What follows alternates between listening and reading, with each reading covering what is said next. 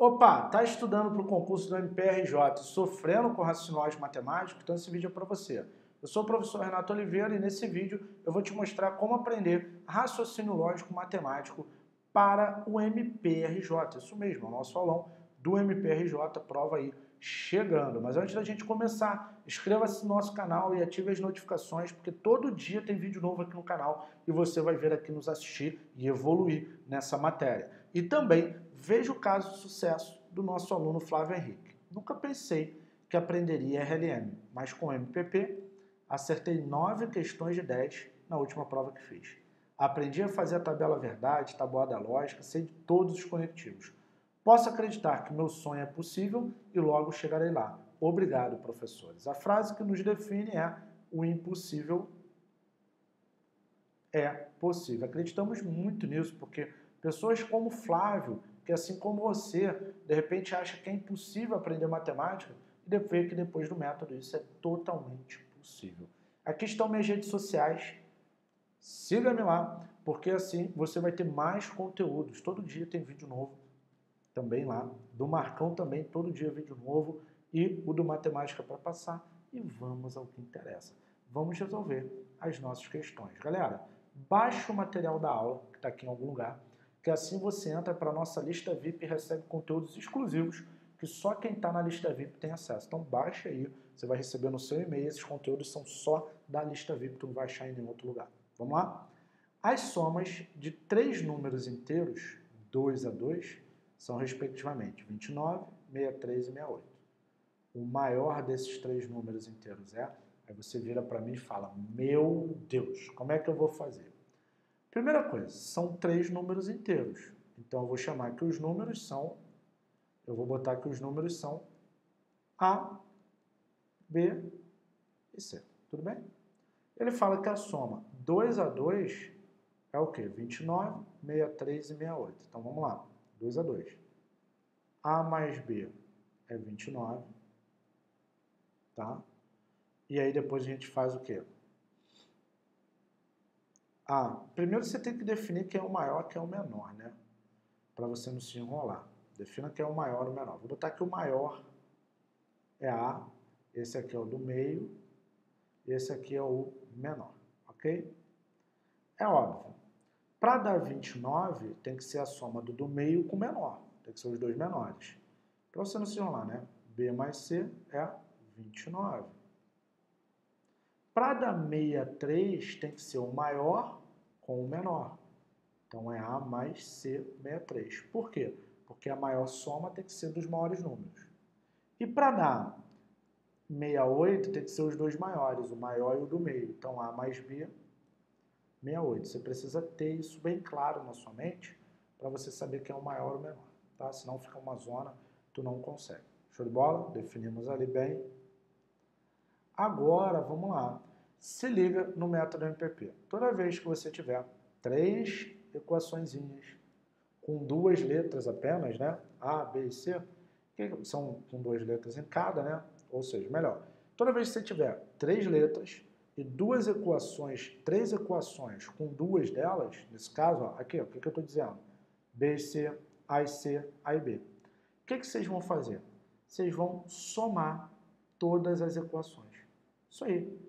Vai somar A mais A, dá 2A, mais B mais B, vai somar o que é igual, 2B, mais C mais C, 2C. Isso tudo vai ser igual a 29 63, 68. Vai somar. 8 mais 3, 11, mais 9, 20. 2 mais 2, 4, 10, 16. Então, essa soma dá 160. Show de bola? Ok, ok? 160. E agora, o que, que você vai fazer malandramente? Você vai dividir todo mundo por 2. Pluft, pluft, pluft, pluft. Ficando com A mais B mais C igual a 80. Tudo bem? A mais B mais C igual a 80. Ok, ok?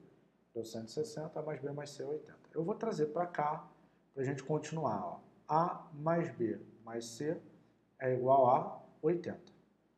Ele quer o maior. Quem é o maior? Né? O A. Então olha para cá, como fica simples. Eu sei que B mais C é 29. Então eu vou substituir aqui, ó, 29. Aí vai ficar A mais 29 igual a 80. Pegou a visão? A mais 29 igual a 80. 29 está somando, vai para lá diminuindo. Então A é 80 menos 29. Vamos fazer quanto dá? 80 menos 29, sem me estressar, que dá 7, que dá 1, 51. Pronto. Esse é o valor do maior número, 51. Marco V da vitória na letra B. Tá aí a minha resposta. Muito bom, muito bom, muito bom. Foi? Questão legal. Essa questão caiu na última prova do MP. Muito bacana essa questão. Não perco a ideia de organizar. Bora lá para a próxima. Vamos lá? Próxima questão. O que, que ela diz para gente? Ó. Três casais vão ocupar seis cadeiras consecutivas de uma fila. Seis cadeiras consecutivas de uma fila de cinema. E os casais não querem sentar separados. Então, eles têm que estar juntos. Né? Assinale a opção que indica o número de maneiras diferentes em que esses três casais podem ocupar as seis cadeiras. Meu Deus! Galera, entenda isso aqui. Toda vez que falar juntos, forma um bloco, tá? Análise combinatória, falou juntos, forma um bloco, ok? Vão formar um bloco. São seis cadeiras para três casais. Então, casal A, né? Vou botar aqui é mulher 1, um, homem 1, um, vão formar um só, formar um bloco. Mulher 2, homem 2, formar um bloco. Mulher 3, homem 3 vão formar um bloco, ok? Show de bola? E aí eles vão permutar, ou seja, aí você vai ter uma permutação dos espaços, 1, 2, 3, fica 3 fatorial, vezes a permutação deles ali, porque ele não definiu a ordem, só tem que ficar juntos. Mulher 1 com homem 1 ou homem 1 com mulher 1. Então aqui, ó, você vai ter 2 fatorial vezes aqui 2 fatorial, vezes aqui 2 fatorial. Você vai ter isso tudo, ok? Essa é a resposta. Beleza? Então, sempre que falar juntos, ele forma um bloco. Um bloco. Então, mulher 1 com homem 1 é um bloco, mulher 2 com homem 2 é outro bloco, mulher 3 com homem, com homem 3 é outro bloco, tá? E aí você vai ver quantos espaços foram formados. Foram três? Três fatorial nos espaços. Como não definiu a ordem, a mulher e o homem também vão mudar. Então fica 2 fatorial vezes 2 fatorial vezes 2 fatorial, tá? Quem é 3 fatorial, galera? 3 vezes 2 vezes 1. Quem é 2 fatorial? 2 vezes 1. 2 vezes 1. 2 vezes 1. 3 vezes 2 é 6. Vezes 2, vezes 2, vezes 2. Ok? 6 vezes 2, 12. 24, 48. Qual é o meu gabarito? Letra E. Marco V da vitória. Gabarito, letra E. Não perde tempo. Show? Fica ligado. FGV adora questão que faz isso com blocos, não dá mole, tá bom? Bora lá para a próxima. Ó. Em um grupo de 30 profissionais, sublinho 30, todos são engenheiros ou arquitetos. A quantidade daqueles que são somente arquitetos é o dobro dos que são somente engenheiros. Galera, falou essa palavra somente interseção. Doze desses profissionais são arquitetos e também engenheiros. Ó, deu a interseção, que a interseção é quem faz o peixe. Eita! Que caiu aí, velho? Caiu aí o bagulho. Caiu. Bora que tá vivo. A interseção, galera, é o que tem nos dois. Assinale a opção que indica o número de engenheiros desse grupo. Meu Deus, como é que eu vou fazer isso? Olha para cá, muito tranquilo. Monta um diagrama, filho. Questão que dá interseção é de conjuntos. Então você vai montar o diagrama. Vem comigo. Vamos montar o diagrama aqui, filhão. Diagrama. O grupo, o total são 30 profissionais. E aí você tem o engenheiro e tem o arquiteto. Ok? Engenheiro e arquiteto. Aí ele fala que a quantidade daqueles que são somente arquitetos é o dobro de quem é somente engenheiro. Então, somente engenheiro é aqui de vermelho, somente arquiteto é aqui de vermelho também. Então ele falou que a quantidade de quem é somente arquiteto é o dobro de quem é somente engenheiro. Então, se aqui somente engenheiro é x, somente arquiteto é 2x. Ok, ok? 12 desses profissionais fazem as duas coisas. Então, aqui a meiuca é 12. O total é a soma de geral. Não tem ninguém que não faz nada porque ele deixou bem claro que são engenheiros ou arquitetos. Então, quando eu somar esses caras aqui de vermelho, o x mais o 12 mais o 2x, isso tem que dar 30. Vamos lá? 2x mais 1x dá 3x. 12 está somando, vai para lá diminuindo. Então fica 30 menos 12. Quanto é 30 menos 12? Galera, 30 menos 12 dá 18. Correto? 3 está multiplicando, vai para lá dividindo. 18 por 3 dá 6.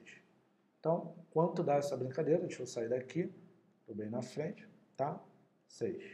igual a 6. Ok?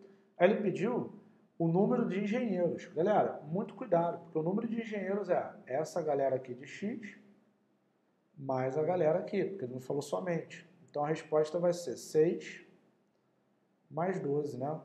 Que dá 18. Qual é o meu gabarito? Letra D. 6 mais 12 dá 18. Por quê? Só engenheiros são 6, mais os 12 que fazem os dois, então dá 18, porque engenheiros são esses dois caras aí. Tá legal? Então não erre. Esse tipo de questão FGV também ama. Bora para a próxima. Opa! Questãozinha de geometria. Vamos lá. O que, que diz essa questão? Uma sala da creche possui duas partes. Cada uma delas é um quadrado de 6 metros de lado.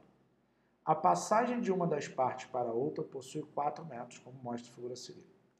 O perímetro da figura, cara, ele quer o perímetro. O perímetro é a soma de todos os lados. Mas muito cuidado, porque só é lado isso que eu vou botar de vermelho. Ó. Só é lado isso que eu vou botar de vermelho, tá bom? Só é lado isso que eu estou botando de vermelho, tá vendo? Então, bora lá. Como é um quadrado, aqui também. Como é um quadrado, ali vale 6, aqui vale 6, aqui vale 6, aqui vale 6, aqui vale 6, aqui vale 6. Agora eu tenho que encontrar esse pedacinho aqui. Pô, legal, é fácil encontrar esse pedaço. Por quê? Tudo aqui vai valer 6. Como até aqui vale 4, ali vai valer 2, que é 6 menos 4, né? Mesma coisa aqui. Tudo vale 6, até aqui é 4, aqui também é 2. Então, para eu encontrar o perímetro, eu tenho que somar geral. 6, 6, 2, 6, 6, 6, 2, 6. Vou ter que somar todos esses de preto. Então, vamos lá. Primeiro 6, segundo 6, mais 6, né? mais 2, mais 6, mais 6, mais 6, mais 2, mais 6. Ok? E aí a gente mata essa brincadeira. Show? Vamos somar? 1, 2, 3, ó, vamos ver quantos 6 tem. 1, 1, 2, 3, 4, 5, 6. 6 vezes 6, 36 mais 4 dá 40. Então, qual é o perímetro dessa parada? 40, marco V da vitória. Show de bola? Muito legal essa do perímetro, muito interessante mesmo. E deixa eu voltar aqui, aparecer para você. Muito legal essa do perímetro, né? Bem legal. E chegamos ao fim. Ah, mais um aulão. Se você quer, ainda dá tempo. Nosso curso para o MPRJ, tá? Tá aí o nosso curso para o MPRJ raciocínio matemático, mais quatro bônus. Clica aí, veja os bônus, bora aprender nessa reta final. Se não, assiste aqui os nossos vídeos, bora aprender que o lance é você mudar a sua vida. E olha só essa frase que é bem legal. Filho, nunca deixe que ninguém impeça você de sonhar. Nem se essa pessoa for o seu pai. Então, olha só, ninguém pode deixar você parar de sonhar. Sonha, bota, executa, que a coisa acontece. Esse filme, toda vez que eu vejo, eu choro pra caceta. O filme é muito bom. Então veja, é uma motivação, o filme é muito bom. Beleza? Galera, lembra disso. Nunca deixe ninguém peça você de sonhar, nem se for o seu pai. Mas, sério, não para de sonhar não. Se você pode sonhar, você pode realizar. Daí vem a nossa filosofia. Show? Beleza? Um beijão. Muito obrigado a todos. Foi uma maravilha esse aulão. Espero ter ajudado. Até a próxima. Valeu!